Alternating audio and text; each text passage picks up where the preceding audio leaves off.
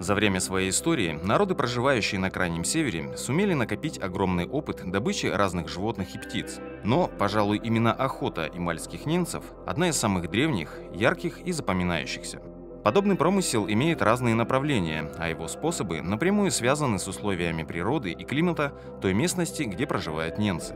Охота настолько прочно вошла в жизнь этого народа, что стала не только способом пропитания, но еще и настоящей традицией. Перед каждым охотничьим сезоном идет подготовка, которая является важным этапом осуществления подобной деятельности. Подготовительными называют своеобразные охотничьи рейды, кратковременные и носящие поисковый характер.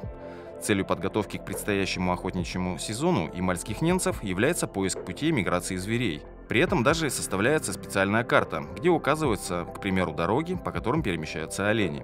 Охота на диких оленей практикуется у немцев на протяжении всего года. В июле же популярным объектом промысла являются гуси и другие птицы. Способы охоты на самого востребованного у немцев зверя дикого оленя довольно разнообразные. Раньше была популярна забытая сегодня загонная охота. Ее суть заключалась в том, чтобы загнать стадо оленей, например, к обрыву, чтобы те падали вниз. Также интересный способ охоты, который практикуется и сегодня, это использование другого оленя в качестве приманки – Приманкой выступал домашний олень, к рогам которого привязывалась петля, после чего животное выпускалось в сторону стада, где ему навстречу выходил вожак, чтобы вступить в бой. Во время схватки петля путалась в рогах обоих зверей. Это позволяло охотнику приблизиться к животному вплотную и прицельно выстрелить из ружья. Довольно высокой эффективностью пользовалась охота на переправах, которую еще называли «поколка». Суть в том, что во время миграции дикие олени переходили реку по одним и тем же местам, об этом знали охотники, которые устраивали им засады. После того, как олени выходили на берег, они подплывали к ним и закалывали копьями. Чуть ниже по течению другие охотники ловили туши оленей и занимались их обработкой. Данный способ обеспечивал ямальских немцев большим запасом шкур и мяса. Обычно охота исключительно мужское дело, при этом копытных животных раньше добывали группами. Однако с появлением более продвинутых средств промысла стали охотиться в одиночку, беря с собой лишь собаку, ружье и пропитание. Одной из важнейших принадлежностей немца, который с гордостью может называть себя охотником, является пояс мужчины. Мальчик по достижении возраста 10-12 лет получает свой первый пояс от отца. Сделан данный аксессуар из кожи оленя, при этом его украшают медные бляхи, стальные вставки, а также пуговицы. Довольно часто можно увидеть пояса, украшенные различными амулетами. Современные ямальские немцы во время охоты пользуются различными видами оружия, среди которых нарезные ружья, охотничьи, мелкокалиберные и карабины.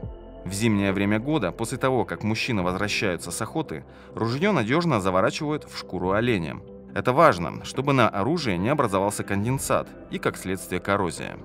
Одним из самых популярных трофеев, на который охотятся ямальские немцы, является писец. Раньше его ловили, используя деревянные ловушки пасти, а также кулемы. Немного позже начали использовать специальные капканы.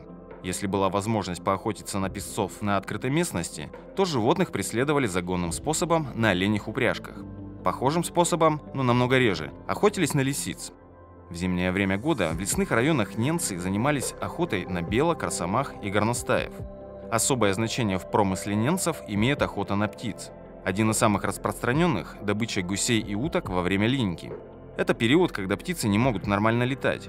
Охотники пользуются этим, выгоняют птиц на открытую местность, ловят либо отстреливают. Такой способ позволяет заготовить большое количество дичи, в том числе на зиму.